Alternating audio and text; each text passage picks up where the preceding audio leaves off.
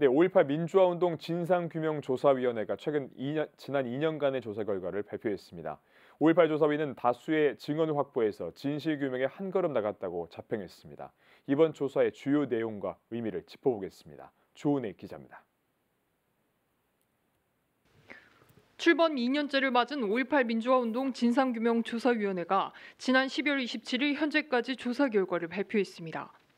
이번 발표에서는요, 어, 그동안 좀 무수한 설로만 남아 있었고, 뭐 추측만 가능했었던 발포 명령 체계에 대한 실체가 어느 정도 밝혀졌다고 보시면 될 것 같습니다.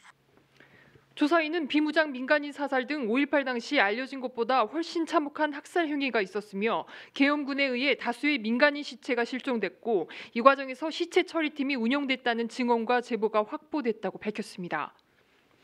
무엇보다 80년 5월 광주 재진입 작전을 건의한 문서에서 각하께서 good idea라는 메모는 주목할 만합니다.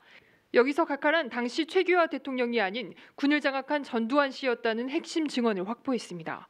저희가 이번에 발표한 뭐 good idea 같은 경우는 이제 앞뒤 정황이 어느 정도 확인이 되고 각하라는 명칭 자체를 당시 대통령이 아닌 어떻게 보면 전두환에게 했냐에 대해서 증언이 확보되다 보니까 어떻게 보면은 군부 내에서 최고 실권자가 전두환이 아니냐 그런 차원에서 이제 good idea에 대한 의미가 있다고 볼 수 있을 것 같습니다.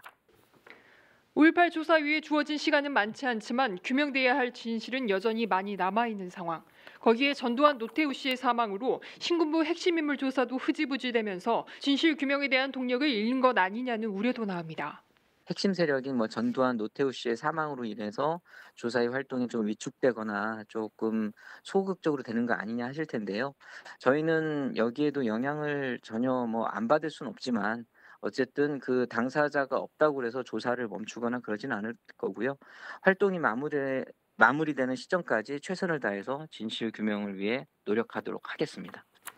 위원회는 아래로부터의 조사 방식을 채택한 만큼 증언을 교차 검증하는 데 시간이 걸린다는 점을 설명하며 5.18 진실 규명을 위한 국민의 기대와 요구를 잘 알고 있고 오는 5월에 보다 구체화된 사실을 발표하겠다고 밝혔습니다. 발포 명령자의 책임 소개, 소재를 밝히는 것이 5.18 민주화운동 진상규명의 입구이라면 행불자 안매장이 출구라고 볼 수 있습니다. 다시 오는 광주의 5월 이번에는 묻혀있던 진실을 명쾌하게 규명할 증거가 나오게 될지 관심이 쏠리고 있습니다. CNB 뉴스 조은혜입니다.